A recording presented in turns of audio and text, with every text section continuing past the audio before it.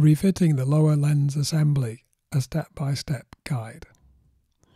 Take the lower lens assembly and the protector together in your hand and push it into the laser housing.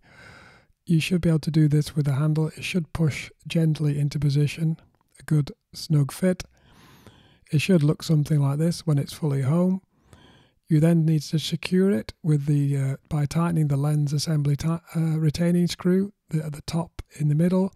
Do not touch any of the other screws because these will alter the laser alignment. You then need to push the cover back into position. This should move down and backwards once you release the locking lever bar. Close the door, latch the two catches we've added for extra door security, and you should be back and running. You, need to then move the head back into its home position. Thank you very much for watching.